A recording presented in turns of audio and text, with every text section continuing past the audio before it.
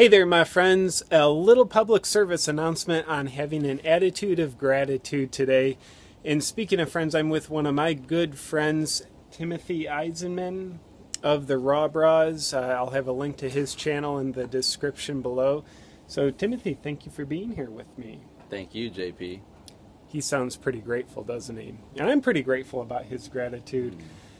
So, speaking of that angelic like devil, I've been inspired getting to hang out with my good friend here for a few days, and I've been really inspired in a really cool way, a very inspiring, inspirational way, experiencing your gratitude.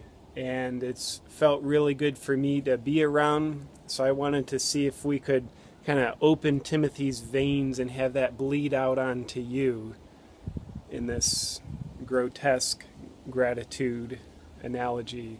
So, with that said, my friend, I'd be curious if you were giving us one secret, if you will, or one strategy to actually practice gratitude, not just going through the motions, but actually practicing gratitude, what could that be? Mm. Thank you, JP. Um, I would say it's about having faith.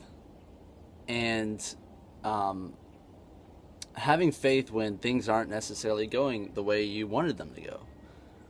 We we have all found ourselves in times where life can be more challenging than other times, and it's those moments where I think it's so important for us to believe that better things are just on the horizon.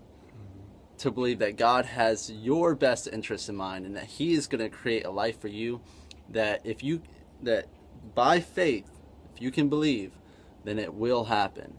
Um, and celebrate c- celebrating the things that we usually take for granted mm. in life, whether that just being able to breathe. If you have your health, I hope that all of you do have your health. Uh, have your health. Being able to take a deep breath in, being able to walk around without any pain. I mean, that's just the fundamental of the of being grateful. Yeah that one really strikes a, an important chord for me. Being grateful for what you otherwise take for granted, and, and I'll own that. I am um, guilty of not doing that nearly as much as I like. And when I do do that, when I kind of have the reminder to be mindful about being grateful for the things I otherwise take for granted, I can't explain it. I just feel better. Mm. And like um, kind of a interconnected kind of way. And that's pretty meaningful to me. And then something else you shared the other day as talking about being present. You were talking about how being grateful for what you have now mm-hmm. is a really effective way for being present rather than focusing on what you don't have yet, which kind of projects you out of the present into the future um, so I, I kind of just stole your spiel so I can have credit for your wisdom. So that's all me, everybody. It's okay. Know, anything else to share about the connecting to the present through gratitude? Yeah, absolutely. um, our life, my life, is made up of a bunch of right nows. It's like my life's made up right now. Like, but oftentimes when people ask me, "So, Timothy, what do you want to do with your life?" I immediately, and it might be just human nature to think, okay, well, what do I want to do in 10 years from now? Or do I, where do I want to see myself in five years or even a few months from now? But the, you have to, in my opinion, go against our human nature or conditioning, whatever you want to call it, and stop thinking, start, bring your attention away, pull your attention away from the future and bring it to right here, right now. Otherwise, in 10 years from now, even if you do just so happen to succeed and accomplish your goals and have everything you want, your attention's still going to be in the future and we're not going to be able to enjoy it. So the trick is not um, uh, having accomplishments or succeeding in your goals. The trick is appreciating for what you do have. And that way you can never go wrong. I think Eckhart Tolle would approve of that message.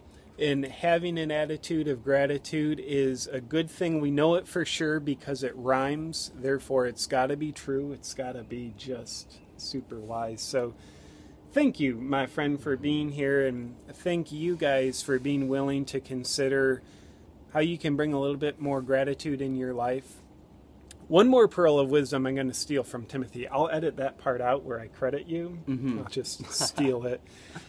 Being grateful for being grateful. Mm. There, uh, Timothy shared with me, which I, I just really loved it. Uh, we were talking about like, uh, it, what would your ideal life be like?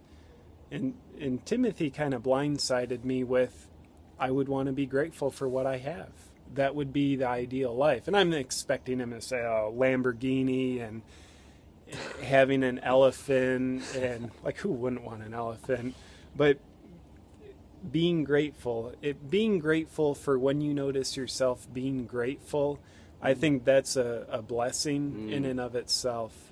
So with that said, anything else before we part ways from the camera? I couldn't agree more. And I'll yes, I do. I'll say, I think we all lo- love challenges. I think that's uh, one of the most fulfilling parts about life is overcoming challenges. So the good news about this idea of gratitude, attitude of gratitude, is it's not easy, and it's challenging. You have to wake up every morning and make that decision that okay, I'm going to start looking for things in my life to be happy about or to be grateful about, and it's not easy. So if you're having a t- uh, if you're challenged by that idea, then good for you. So am I.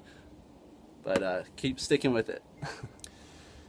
Thank you, my friend. Uh, if you choose to subscribe to my channel, I'll be grateful for you. If you don't,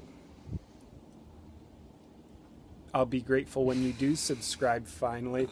And uh, feel free to check out Timothy's channel, the Rawbrahs. Again, links in the description below. Uh, we have a couple videos up on that channel, collaborations. Uh, one will be out up right now, another near future. You'll want to check those out.